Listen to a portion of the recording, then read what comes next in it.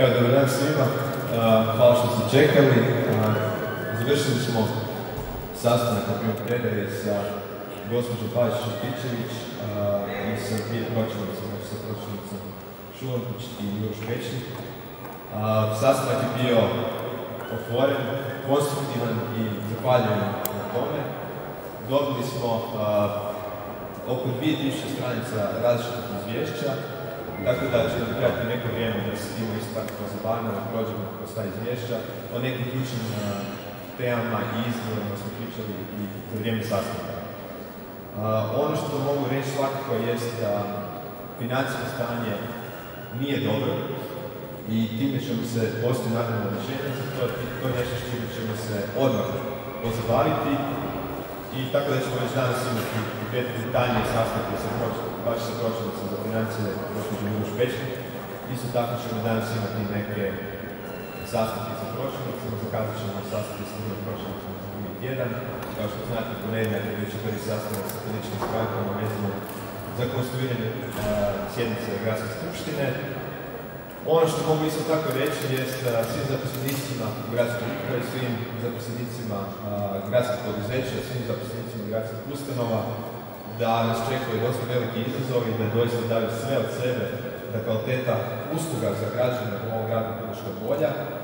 Unatoč tome što nas kao grad čeka veliki izazovi, mi smo optimistični, vjerujemo da zajedno možemo te izazove prebroditi i da možemo doista unaprijediti kvalitetu života za sve u ovom gradu. Mi ćemo kao uprava, kao vlast, znači moji zamjenici i ja voditi primjerom u smislu da ćemo biti otvoreni, da ćemo biti skromni, da ćemo biti pristojni i da ćemo biti na usluzi građanima ovog grada. To je nešto što isto tako očekujemo i od svih radnika, odnosno zaposlenika u gradskoj upravi, poduzećima i gradskim ustanovama.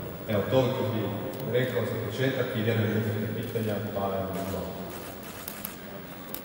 Sabina Tandar, kažete da financije nisu dobre, što to znači? Pa to znači da, evo, dobili smo izvješće zapravo o, o proračuna za prošlu godinu, dobili smo nekako preliminarno izvješće za ovu, ovu godinu, isto tako neke podatke o likvidnosti i u tom smislu, kad gledamo cijelu situaciju, financijska situacija nije dobra, međutim volio bih još da sjedimo sa, sa pročelnicom detaljnije prođemo kroz modele i rješenja za, za te probleme i onda bi dalje izlazili u javnost Tako da, evo, mogu samo reći ovo na početku da, da je to nešto što je jedan od najvećih izgleda koje koji moramo ovdje početi rješavati. Pa, ne bi sad o detaljima, zato što vam to neće zato da cijelu sliku. Da vam sad kažem koliki je minus akumuliranog gubitka u prošloj godini, to jest gubitka u prošloj godini neće dati punu sliku a zbog drugih isto tako varijabli koje to treba izgledati.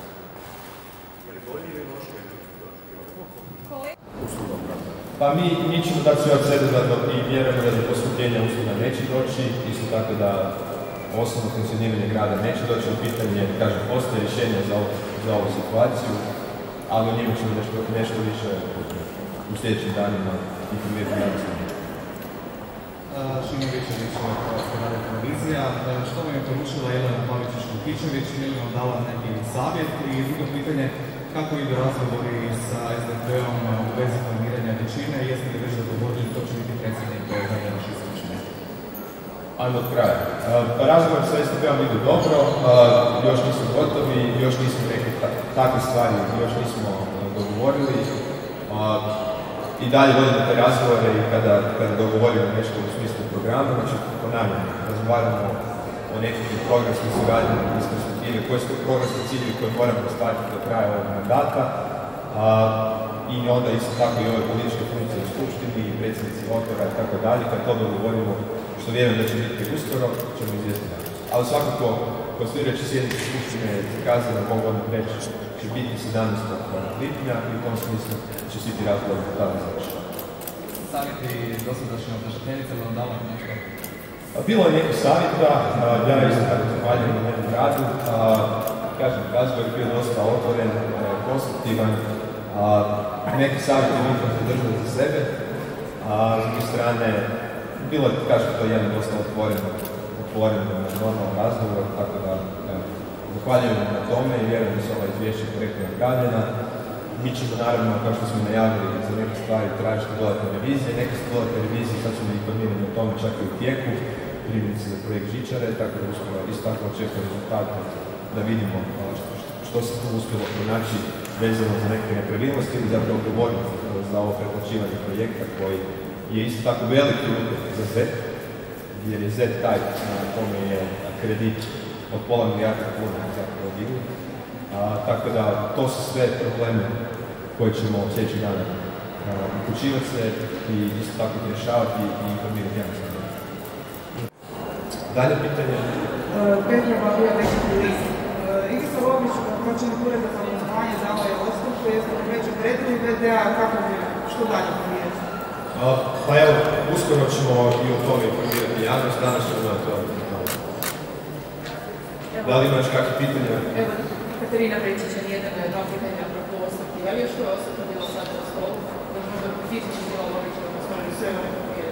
Ne, ne, e, i kažem, sa svim pročelnicima ćemo imati, e, koji su trenutno pročelnici, e, razgovore nas troje sa njima bilateralno, tu ćemo da vidjeti koje su im isto tako ambicije, šta oni misle o svom mandatu i tu ćemo da vidjeti koje su više. Ali, konkretno što se tiče gospodina Lovića, da, znači to je situacija koja je već stupila na snagu i u tom smislu ćemo danas donijeti odluku o uvede pročelnika za za. Imate neki Moram, gdje ste sad na sigurno?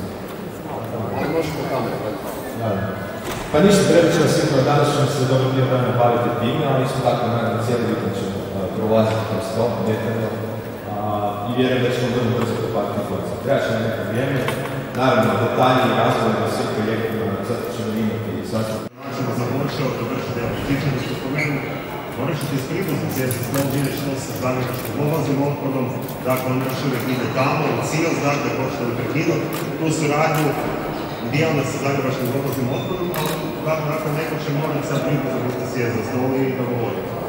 Što se tiče suradnje sa privatnim poduzećima, revizije ugovora, facilitata, da tako kažem, obnova odnosno obrazovanja svih tih protokola i procedura koje su a, jako dugi i komplicirani i kao što je rekao kolega Tomašević, prvi razgovor je sa ravnateljem fonda Darijom Anđelićem, isto tako i sa voditeljem sektora za graditeljstvo i gospodarstvo pri uredu, gradskom uredu za prostorno uređenje i graditeljstvo. Da vidimo kako se možemo povesti i kako možemo čitati stvari za stavljeni prioritet. Hvala.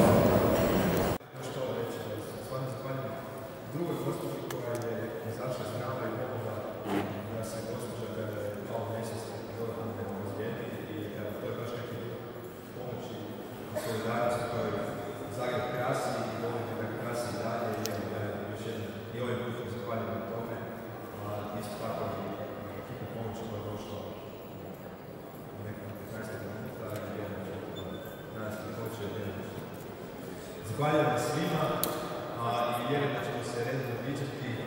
Sretno sam zbog toga. A, još jednom pozdrav svima u gradskoj upravi i, i mi ćemo se svakako vratiti i svim radnicima u gradskom poduzećima, u gradskoj upravi i gradskim ustavama danas jednom dopisom. Tako da evo, hvala vam na tome. I idemo dalje zajedno, vjerujem da bude budućnost.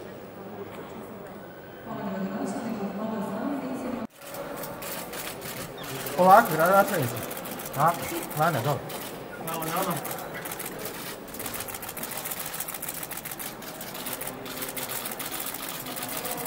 Na ovom krevatu nemojte se naviknuti. To je uglavnom protokolna situacija. Može. Hvala. Hvala. I sretno. Ne sve, ne sve, sam se držim da se ne... Može, može, gotovo. Mogu? Dobro.